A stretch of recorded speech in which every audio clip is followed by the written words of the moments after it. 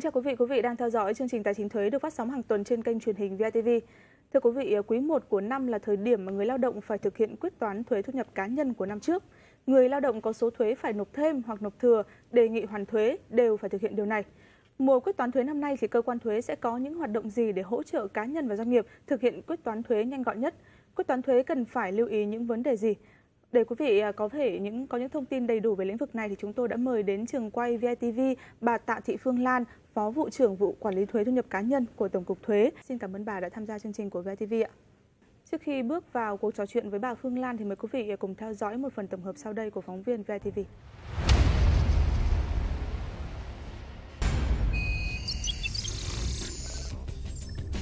Đối tượng phải quyết toán thuế thu nhập cá nhân gồm hai đối tượng. Các cá nhân có thu nhập từ tiền lương, tiền công có trách nhiệm khai quyết toán thuế. Nếu có số thuế phải nộp thêm hoặc có số thuế nộp thừa, đề nghị hoàn hoặc bù trừ thuế vào kỳ khai thuế tiếp theo. Cá nhân có thể ủy quyền quyết toán thuế hoặc trực tiếp quyết toán thuế thu nhập cá nhân. Tổ chức trả thu nhập từ tiền lương, tiền công không phân biệt có phát sinh khấu trừ thuế hay không đều có trách nhiệm khai quyết toán thuế và quyết toán thuế thay cho cá nhân có ủy quyền.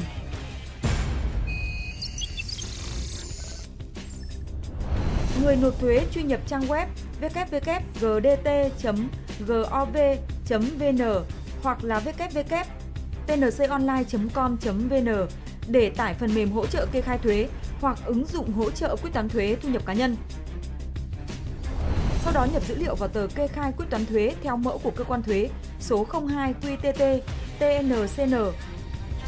Sau khi kiểm tra số liệu kết xuất dữ liệu ra file XML để gửi qua trang web www.tnconline.com.vn hoặc kết xuất file XML, copy vào USB và gửi trực tiếp tại bộ phận một cửa cơ quan thuế.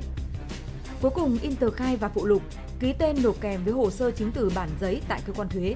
File dữ liệu phải gửi đến trước hoặc đồng thời với bản giấy.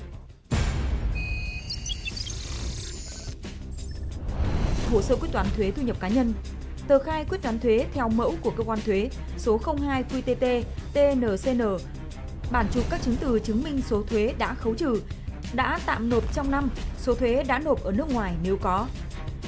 Các cá nhân nhận thu nhập từ các tổ chức quốc tế, đại sứ quán, lãnh sự quán và nhận thu nhập từ nước ngoài phải có tài liệu chứng minh về số tiền đã trả của đơn vị, tổ chức trả thu nhập ở nước ngoài Thời hạn nộp hồ sơ quyết toán thuế chậm nhất là ngày thứ 90 kể từ ngày kết thúc năm dương lịch hoặc năm tài chính đối với hồ sơ quyết toán thuế năm. Ngày 31 tháng 3 năm nay rơi vào ngày thứ Bảy, do đó thời hạn cuối sẽ là ngày 2 tháng 4 năm 2018.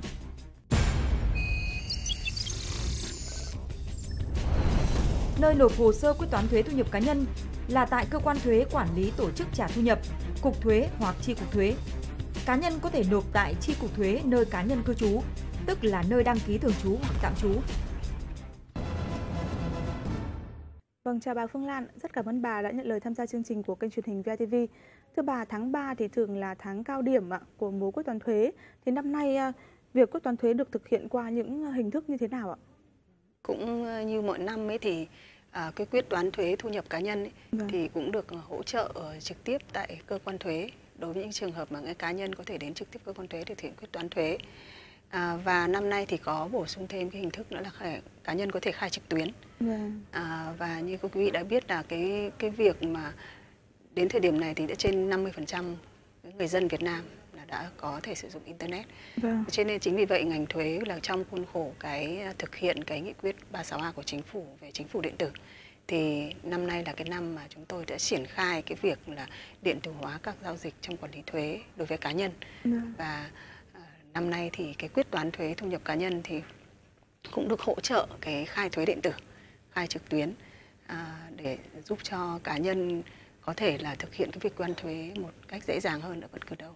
Vâng, bà có thể chia sẻ rõ hơn là việc uh, khai trực tuyến thì sẽ tạo thuận lợi như thế nào cho người nộp thuế và cơ quan thuế trong việc quyết toán thuế ạ? À, cái dịch vụ thuế điện tử ờ, của năm nay để áp dụng cho cái ờ, khai quyết toán thuế yeah. Vâng. thì chúng tôi có hỗ trợ một số các cái chức năng để hỗ trợ cho người nộp thuế. Cái chức năng thứ nhất đó là liên quan đến cái việc là cá nhân có thể khai trực tuyến như tôi vừa nói. Vâng. À, và trên cái ứng dụng hỗ trợ khai trực tuyến này thì cá nhân có thể được hướng dẫn khai từng chỉ tiêu trên tờ khai rất là dễ dàng. Và một cái chức năng tiếp theo nữa là có thể là để gửi hồ sơ quyết toán thuế. Thì đối với những cái cá nhân mà như từ trước đến nay mà có thể sử dụng các cái ứng dụng hỗ trợ kê khai offline bên ngoài ấy, ừ. có thể là tải các cái tờ khai mà mình đã khai tại ứng dụng đó để đẩy vào cái dịch vụ thuế điện tử này cũng có thể gửi được hồ sơ quyết toán thuế.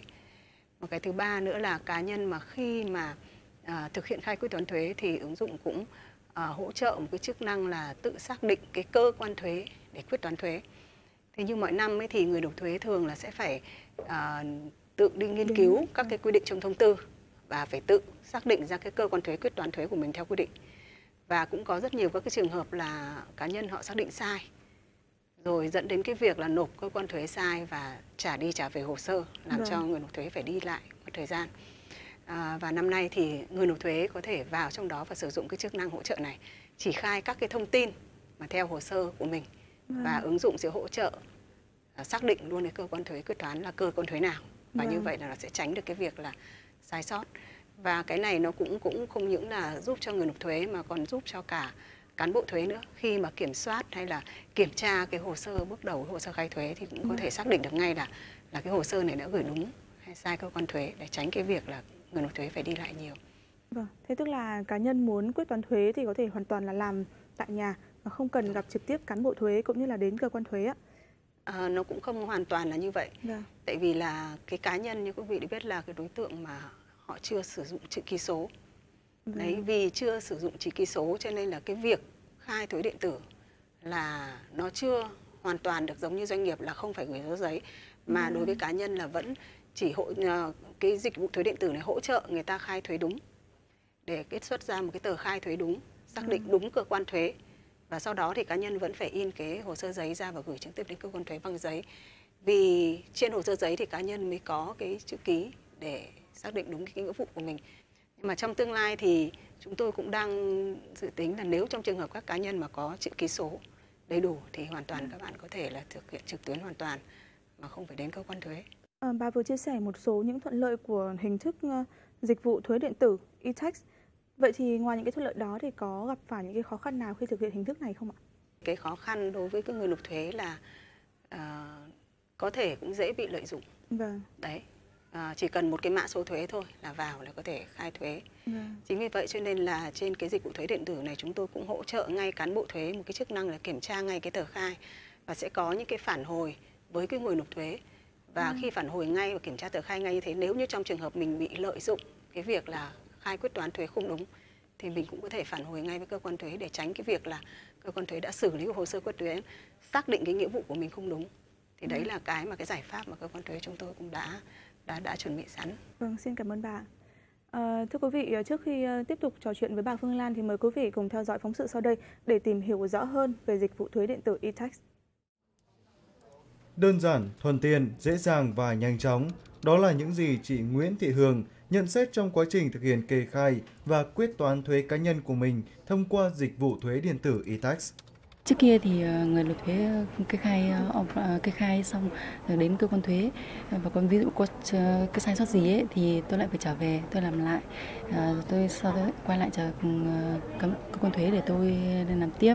Nhưng bây giờ tôi không có sai sót gì tôi có thể sửa trên kê khai online luôn cũng như chị Hương thì hầu hết người nộp thuế đều nhận thấy rằng dịch vụ kê khai và quyết toán thuế điện tử được ngành thuế triển khai đã giúp tiết kiệm thời gian, chi phí đi lại và đặc biệt là được ngành thuế hướng dẫn và hỗ trợ rất tích cực và nhiệt tình.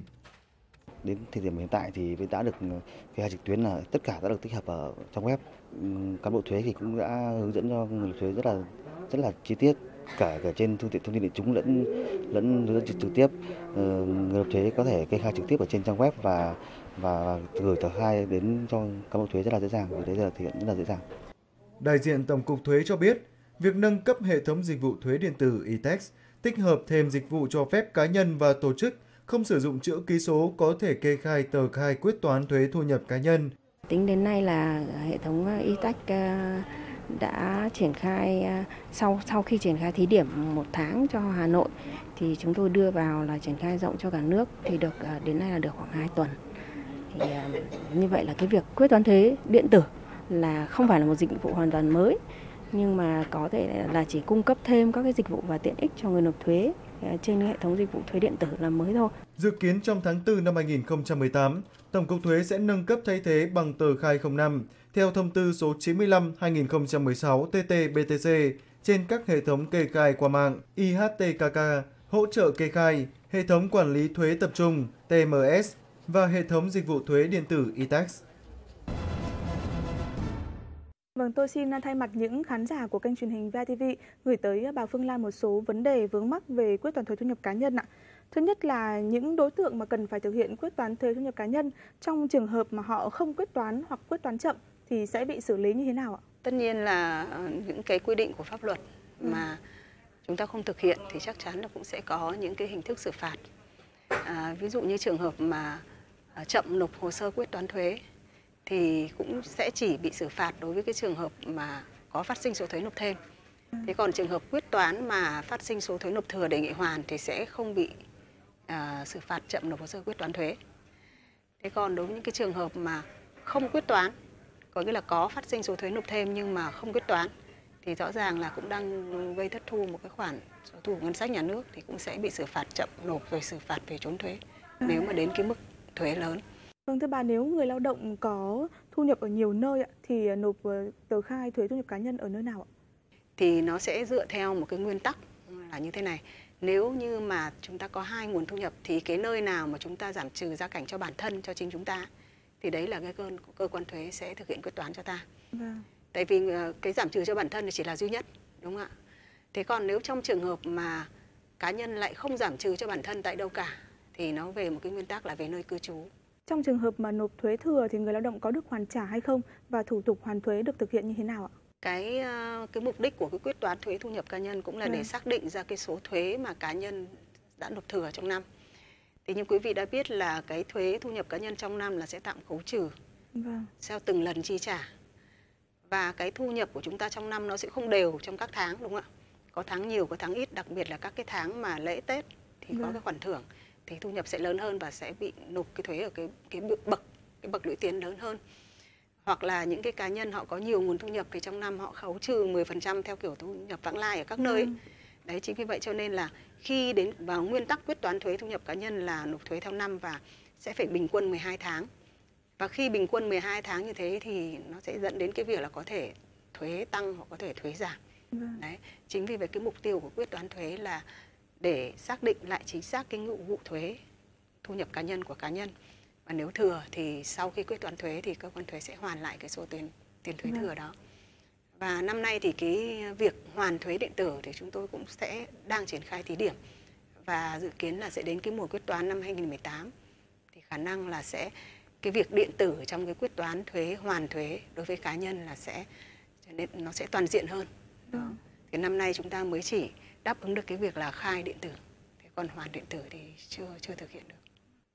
À, kể từ khi người nộp thuế nộp hồ sơ xin được hoàn thuế cho đến khi mà thực sự nhận được cái số tiền được hoàn ấy, thì là khoảng thời gian bao lâu thưa bà? Theo quy định là 6 ngày kể từ 6. ngày hồ nhận được hồ sơ hợp lệ. Còn trong những cái trường hợp những cái hồ sơ mà phải có điều chỉnh bổ sung thì nó sẽ tùy theo cái thời gian mà người nộp thuế hoàn thiện cái bộ hồ sơ đó vâng. là bao lâu À, thưa bà, thủ tục để được hoàn thuế có phức tạp hay không và bao gồm những giấy tờ nào ạ? À, thủ tục hoàn thuế thì thực ra nó chính là cái hồ sơ quyết toán thuế. Vâng. Thì như tôi đã nói là à, cái cái cái hồ sơ quyết toán thuế với hoàn thuế của thủ, của, của của của thu nhập cá nhân ấy, thì cũng đã được cải cách theo cái hướng là cái hồ sơ quyết toán cũng chính là hồ sơ hoàn thuế luôn. Vâng. Nếu mà có phát sinh số thuế được hoàn thì chỉ cá nhân chỉ cần tích vào cái ô là đề nghị hoàn thuế hoặc là đề nghị hủy trừ vào kỳ sau mà không cần thiết phải có thêm một bộ hồ sơ hoàn thuế. Vâng. Đấy có nghĩa là chỉ cần gửi hồ sơ quyết toán thuế. Tôi cũng có nhận được câu hỏi rằng nếu người lao động chuyển công tác ạ, thì các thủ tục quyết toán thuế sẽ được giải quyết như thế nào? À, đối với người lao động mà chuyển công tác thì nó có hai cái tình huống xảy ra. Vâng. Có thể là họ chuyển công tác trong vẫn trong cùng một hệ thống doanh nghiệp ví dụ như là à, do chia tách sát nhập cái công ty cũ người lao động di chuyển trong trường hợp như vậy thì vẫn coi như là một nguồn thu nhập và được ủy quyền kết toán tại cái nơi mới. Thế còn trong trường hợp mà cá nhân mà di chuyển công tác đến hai cái đơn vị à, hoàn toàn tách biệt nhau, hoàn toàn là vâng. không có liên quan gì đến nhau, vâng. thì trong trường hợp đấy thì được coi là người lao động có thu nhập tại hai nơi trong năm và trong trường hợp này thì cá nhân đến cuối năm sẽ phải tự quyết toán thuế. Thì vì rõ ràng là cái tổ chức mới ấy, họ không có liên quan gì đến cái đơn vị trước mà người lao động này này này đã làm tại đó thì họ không thể biết là cái thu nhập tại công ty kia trả là bao nhiêu. Cho nên cái việc mà ủy quyền quyết toán cho cái đơn vị hiện tại là là sẽ không làm được.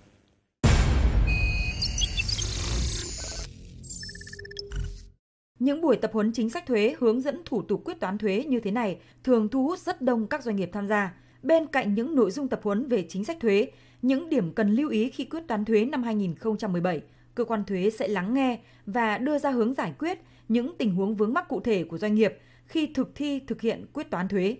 Buổi tập huấn hôm nay thì nó sẽ giúp chúng tôi ờ, tháo gỡ nhanh về những cái điểm mới mà chi cục thuế Hà Nội ờ, thông báo thì ờ, nó sẽ tháo gỡ được này chúng tôi sẽ không phải làm đi làm lại nhiều và thông tin sẽ chính xác nhất để cho chúng tôi có thể uh, uh, tiết kiệm được thời gian. Thì qua buổi tập huấn này thì uh, các đơn vị cũng có thể là là sẽ xem xét lại được cái căn vừa rồi là mình đã làm cái cần những cái thiếu sót là bổ sung hoặc là cần những cái kê khai mình sẽ kê khai bổ sung và cái những cái nội dung gì thay đổi của mình sẽ tiếp tục để mình cập nhật mới để mình quyết toán cho đúng. Thường ngày không hỗ trợ được bố trí tại bộ phận một cửa của cơ quan thuế các cấp. Tuy nhiên trong tháng cao điểm hỗ trợ người nộp thuế, việc hỗ trợ người dân, doanh nghiệp được thực hiện toàn diện hơn. Tại nhiều địa phương có thêm sự hỗ trợ của các tư vấn viên đến từ các đại lý thuế. Vào tháng cao điểm, sự trợ giúp này thực sự phát huy tác dụng đặc biệt đối với các cá nhân còn nhiều lúng túng khi thực hiện quyết toán. À, ừ, à cái à, quy trình đầu tiên đó là có những người, kể cả bản thân khi mà kê khai cái tờ khai theo mẫu đó, thì họ cũng không biết kê khai thì ờ, đại lý thuế cũng như là cán bộ của ờ, cơ quan thuế sẽ trực tiếp hướng dẫn cho người nộp thuế cái cách mà kê khai ờ, hoặc bản thân chính cán bộ thuế cũng như là đại diện của đại lý thuế sẽ kê khai cho họ. Sau khi kê khai xong thì sẽ trực tiếp nộp online cho họ cái bảng quyết toán thuế đó. Ờ, bằng cái phương tiện máy tính tại tri cục. Một vấn đề rất được người nộp thuế quan tâm đó là với trường hợp giảm trừ gia cảnh cho bản thân. Người nộp thuế có nhiều nguồn thu nhập thì lựa chọn tính giảm gia trừ cảnh cho bản thân tại một nơi. Trong kỳ tính thuế, cá nhân cư trú chưa tính giảm trừ gia cảnh cho bản thân hoặc tính giảm trừ gia cảnh cho bản thân chưa đủ 12 tháng thì được tính đủ 12 tháng nếu thực hiện quyết toán thuế theo quy định. Vâng thưa bà, những năm trước đây thì mỗi khi mùa quyết toán thuế đến thì cả cơ quan quản lý và người nộp thuế đều cảm thấy rất áp lực. Vậy thì năm nay với những cải cách hành chính rồi với việc sử dụng hệ thống dịch vụ khai thuế điện tử thì có còn gây áp lực đối với cơ quan quản lý không ạ? Cái quyết toán thuế thu nhập cá nhân năm nay cũng như là năm trước và năm trước nữa, khoảng ừ. 2 năm gần lại đây rồi thì nó không còn là áp lực với cơ quan thuế cũng như là với người dân cũng như xã hội ừ. nữa. À, và à, để có được cái việc đó thì à, ngành thuế cũng đã có rất nhiều các cái đổi mới, các cái sửa đổi trong cả về chính sách chế độ cũng như là cái công tác hỗ trợ tuyên truyền.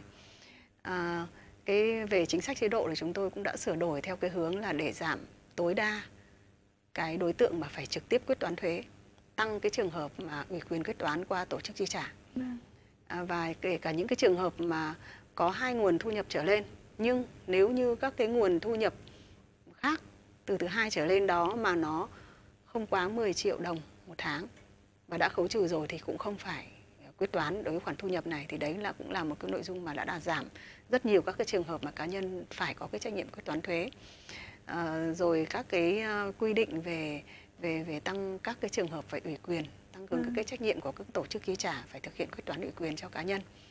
Và kết quả là với cái số liệu quản lý của năm 2016 thì cũng chỉ còn có 0,1% tổng trong tổng số các cái cá nhân phải quyết toán thì là trực tiếp quyết toán thôi còn lại toàn bộ là đã uh, quyết toán ủy quyền qua tổ chức và khi quyết toán ủy quyền đấy thì hầu như cá nhân không hề phải phải lo lắng hay là phải thực hiện bất cứ một cái công việc gì ngoài vâng. cái việc là chúng ta chỉ cần ký một cái giấy ủy quyền, giấy ủy quyền. Vâng. tôi vừa ký giấy đó vâng. ngày hôm qua xong vâng, thế là xong vâng vậy thì trong thời gian tới thì cơ quan thuế sẽ tiếp tục có những giải pháp như thế nào để mỗi mùa quyết toán không trở nên quá tải đối với cả người nộp thuế và cơ quan quản lý thưa bà vâng thì như đã nói là những năm gần đây thì nó cũng không còn là áp lực nữa rồi vâng. nhưng mà tuy nhiên thì với cái giác độ của nhà quản lý thì chúng tôi cũng luôn luôn mong muốn là nếu còn sửa đổi cải cách được cái gì thì chúng vâng. tôi vẫn luôn luôn tìm những cái cách để làm tốt nhất cho người nộp thuế thì với cái đề xuất sửa đổi luật thuế thu nhập cá nhân lần này thì chúng tôi cũng đang đề xuất một cái phương án là là để tiếp tục giảm cái đối tượng phải quyết toán thuế bằng cái cách là đề xuất cái việc mà sửa cái biểu thuế lũy tiến à, và theo cái hướng là cố gắng là giãn các cái bậc thuế ở dưới bậc 1, bậc 2 vâng. các cái bậc mà nộp thuế theo 10% ấy giãn ra để cho các cái đối tượng mà uh, các cái thu nhập đối với người Việt Nam đại đa số người thu nhập người Việt Nam thì thường ừ. là rơi vào cái nhóm thu nhập này và khi rơi vào cái cái cái bậc đó thì nếu trong trường hợp có phải tổng hợp quyết toán lại thì khi chúng ta giãn cái khoảng đấy ra thì rõ ràng là cái số lượng người rơi vào cái bậc đấy nhiều hơn và như vậy là nó sẽ tránh cái việc là nhảy lên cái bậc trên. Thì vì rõ ràng là cái việc quyết toán mà dẫn đến cái việc hoàn thuế hay là nộp thêm là do nhảy bậc nhảy cái bậc thuế lũy tiến khi quyết toán.